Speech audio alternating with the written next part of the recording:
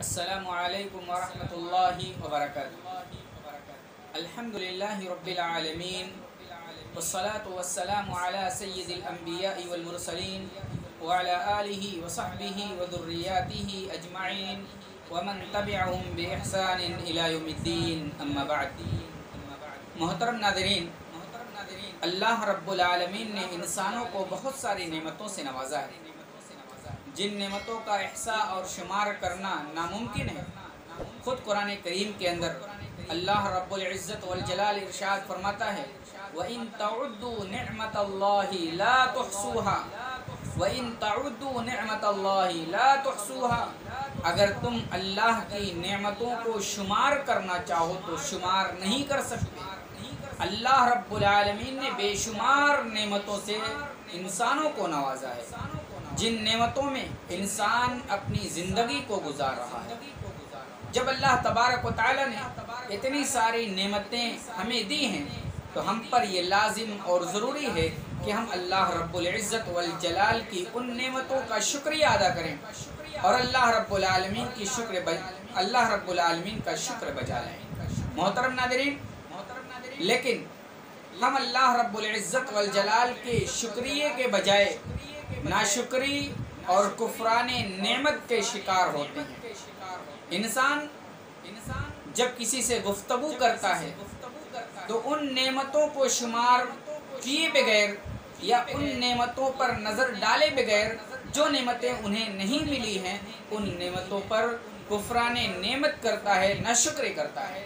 जबकि होना ही चाहिए कि अल्लाह रब्बुल आलमीन ने जिन नेमतों से नवाजा है, उन नेमतों पर अल्लाह रब्बुल इज़्ज़त वल जलाल का शुक्रिया अदा करके अल्लाह रब्बुल आलमीन से उसकी बका के लिए दुआ करें। मोहतरम नादरीन, अल्लाह तबारक व की बहुत सारी नेमतों में से एक नेमत औलाद का अता होना भी है। जो शख्स बा औलाद होता है, जिन शख्स, जिन लोगों को अल्लाह तबारक व जिन्हें अल्लाह रब्बुल इज़्ज़त वल जलाल औलाद से नवाजता है, वो बड़े खुशनसीब बंदे होते हैं। उन लोगों से ज़रा पूछिए, जिन्हें अल्लाह तबारक व ने औलाद की नेमत से महरूम कर दिया है। वो बेचारे हमेशा डिप्रेशन का शिकार रहते हैं। वो बेचारा इसी शशोपंज में रहते हैं, इसी फ़िक्र में रहते हैं कि उनकी बुढ़ापे का, उनके बुढ़ापे का कोई सहारा नहीं। लेकिन जिन्हें औलाद जैसी नेमत अल्लाह तबारक व ने दी है, उन्हें इस नेमत की कद्र नहीं होती है।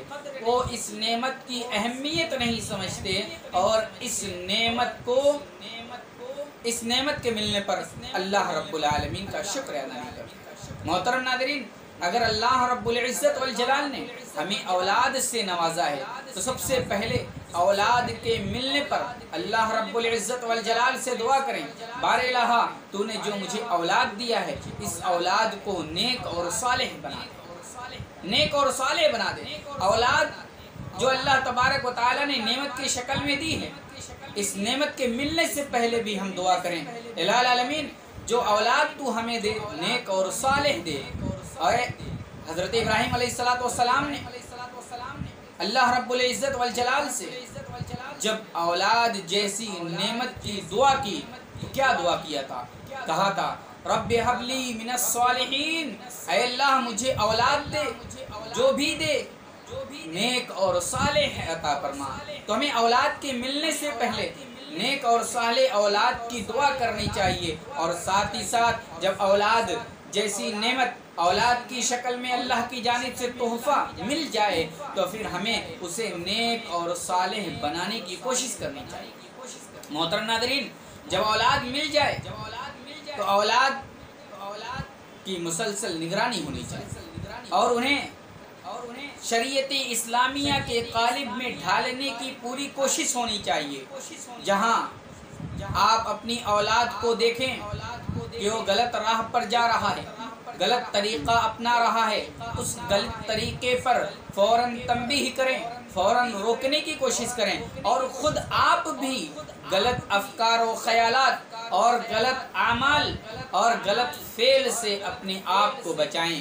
याद रखिए, जब औलाद आपके सामने होती है तो औलाद अपने वालदेन का अक्स हुआ करती है। वालदेन औलाद के सामने जो करते हैं वालदेन औलाद के सामने जो अमल करते हैं, जिस तरह की गुफ्तगु करते हैं, जिस तरह का अखलाक होता है, जिस तरह का अखलाक होता है, उसी तरीके की उस औलाद के अंदर भी सोचो फ़िक्र लिहाजा वालदेन को ये चाहिए कि वालदेन औलाद के सामने हर वो काम करें जिससे औलाद के ऊपर अच्छा असर जाए और हर वो गुफ्तगु करें जिस गुफ्तगु से औलाद के ऊपर अच्छा असर हो और हर उस काम से और हर उस अमल से परहेज करें जो औलाद के ऊपर अच्छा असर न करने वाला हो।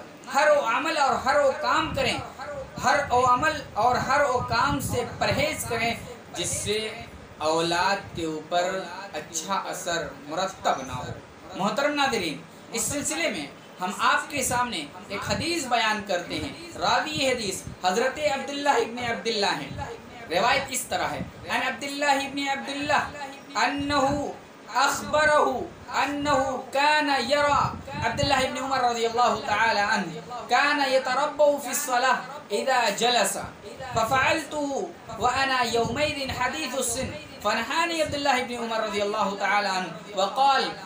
इन्नमा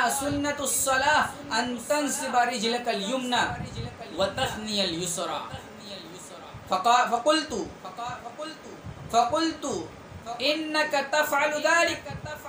फक़ाल इन्न रिजलाय ला तहमिलानी यह हदीस बुखारी शरीफ के अंदर मौजूद है बुखारी शरीफ किताबुल अदान बाब सुन्नतिल जुलूसी फिर तशहुद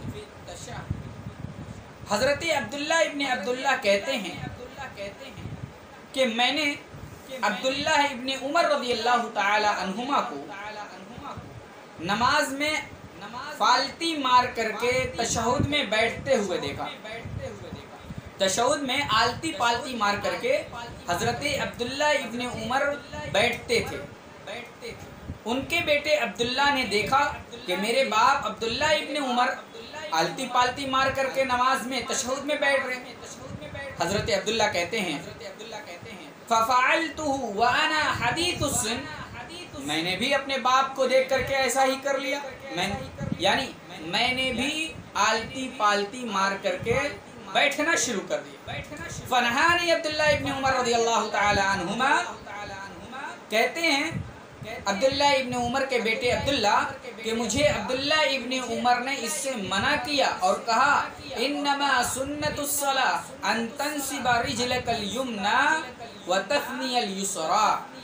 के नमाज़ में सुन्नत ये है कि आदमी अपना दाया पाँव खड़ा करा रहे, दाया पाँव खड़ा करके और बाया पाँव बिछा करके बैठे। बिछा करके सुन्नतुस्सला अन तंसिबा रिजलकल युमना व तफनियल युसरा यानी अपना दाया पाँव खड़ा रख रहे और बाएँ पैर को बिछा करके उसी पर बैठे।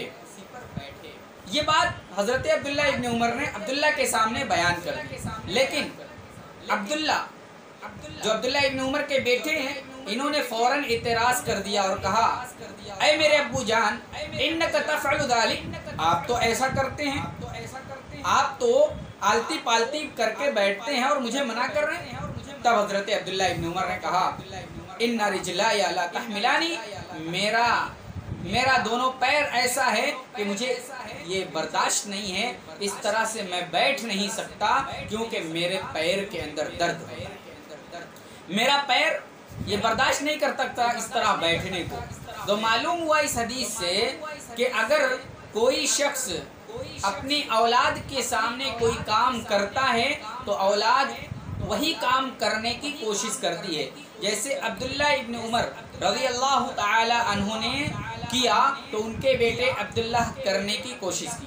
पहली चीज़ ये मालूम हुई कि वालदेन का अक्स औलाद होते हैं। दूसरी चीज़ ये मालूम हुई कि अगर औलाद सुन्नत के खिलाफ कोई काम करे तो फ़ौरन औलाद को टोकना चाहिए और सही तरीका, सुन्नत तरीका बयान कर देना चाहिए और उस पर अमल कराने की कोशिश करनी चाहिए।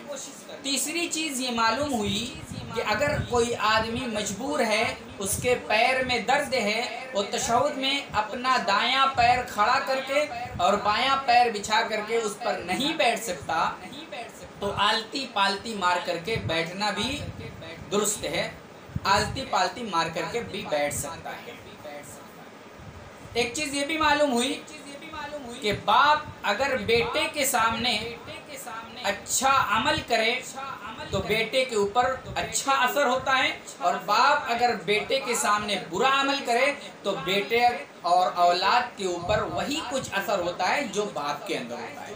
इसलिए औलाद के सामने हर वो काम करें जिससे औलाद के अंदर तहजीब आए, जिससे औलाद के अंदर अदब आए। जो औलाद बाखलाक बने गैर महजब और गैर शाइस्ता ना हो। मोहतरम नादरीन, लेकिन आज के वालदेन को देखा जाता है, ये मुशाहे में है कि वालदेन अपनी औलाद के सामने इन चीज़ों का अहतमाम नहीं करते। यानी वालदेन अपनी औलाद के सामने हर वो काम कर जाते हैं, जिससे औलाद के ऊपर अच्छा असर नहीं होता है। मसलन, औलाद के सामने गाली देना, औलाद के सामने झूठ बोलना, औलाद के सामने बुरे काम करना, सिगरेट नोशी करना, शराब शराब पीना और इस तरीके से जो गैर अखलाकी काम हैं, जिनका शरीयत ने हुक्म नहीं दिया, जिनसे शरीयत ने मना फरमाया है, उन सारे कामों को अंजाम देते हैं और ये सारे काम अंजाम दे करके इन सारी चीज़ों को अपनी औलाद के अंदर मुंतकिल करते हैं। और जब बड़े होकर के वही औलाद, बड़े होकर के वही बच्चे या वही सब काम बड़े होकर के औलाद वही सब काम करते हैं तो फिर बाप को बुरा लगता है। बाप दूसरों से शिकायत करता है कि मेरी औलाद ये काम कर रही है। मेरी औलाद ये काम कर रही है। मेरी औलाद शराब पी रही है। मेरी औलाद जुआ खेल रही है। मेरी औलाद मेरी बात नहीं मान रही है। लेकिन ये नहीं याद आता कि हमने उनके सामने क्या क्या किया है। हमने उनके सामने किस तरीके के अखलाक पेश किए हैं। हमने उनके को कैसा अदब सिखाया है। हमने उनको किस तरीके का, किस तरीके से पाला पोसा है और उनकी तरबियत कैसे की है। अगर तरबियत में खलल है आपने उसकी तरबियत अच्छी नहीं की तो फिर बड़ा होकर के आपकी आपकी बेइज्जती का बाइस बनेगा।